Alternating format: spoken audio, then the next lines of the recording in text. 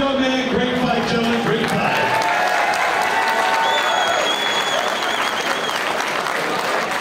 After three rounds of action, we're going to our judges' scorecard for decision. Judge number one scored about 29-28.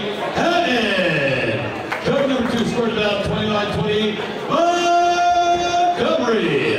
And judge number three scored about 29-28. For your winner, by split decision,